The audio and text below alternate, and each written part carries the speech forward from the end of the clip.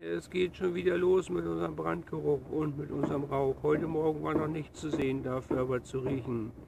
Jetzt geht es langsam wieder los, fieser Brandgeruch und unser blauer Wasserdampf. Heute ist der 13.06.2019.